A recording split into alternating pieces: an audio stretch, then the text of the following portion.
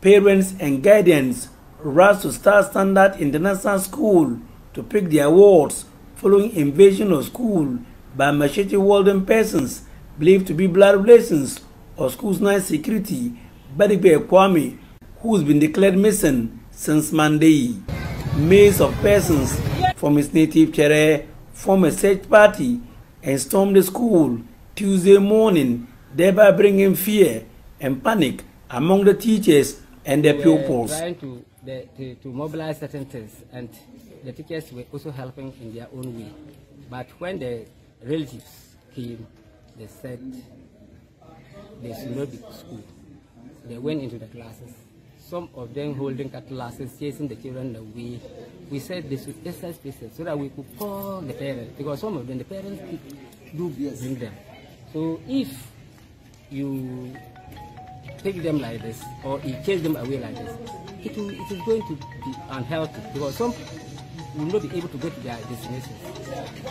But it's like the young guys, they were not trying to listen to us. One of the leaders of the search party, Sufyan Idris, explained that the invasion is neither to harm the teachers nor the pupils, though they are of the belief that it is inhuman and immoral for them to continue school curricular activities when one of their own was missing. Saying that the school should close down, but we are thinking that the trauma that is associated with the whole issue, but we are all children, we are all fathers and mothers here, so we are thinking that the trauma that they are going through is not better. 60-year-old Badibe Kwame failed to return home after close of work on Monday. The victim, according to school authorities, usually lies on tables kept at the back of the stairs of the two-story uncompleted structure. There was no sign of him at the corner on Monday morning, but blood stains were dotted all over the school's compound. Sleeps here, according to information I have gathered, at the corner there. So that is where the case started, and they brought him here. Finally, I uh, finally do away with him, and then there was some blood on this piece. That is like because of the rainfall, it washed away. Then This is a chief private security man alleged to have been killed in five months for alleged ritual purposes.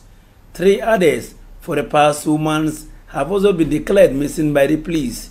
The irony of it is that all took place in the Paguru enclave. Inform the traditional authorities. We've gone on to inform uh, Ghana Police Service, and uh, in fact, we are only hoping that uh, the due or the necessary procedures will be followed in getting us uh, our uncle, whether live or otherwise. Well, as of now, we can't even confirm whether he's still dead or he's still alive. So our next action is that we are just hoping and looking on the Ghana Police Service to help us do the needful. Landlords of the area are deeply worried about the continuous missing and killing of private security men in their enclave. They are urging the security forces, especially the police, to do the needful and bring the perpetrators to book.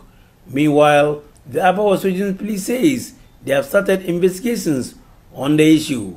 Reporting for Joy News, Rafik Salam. Wa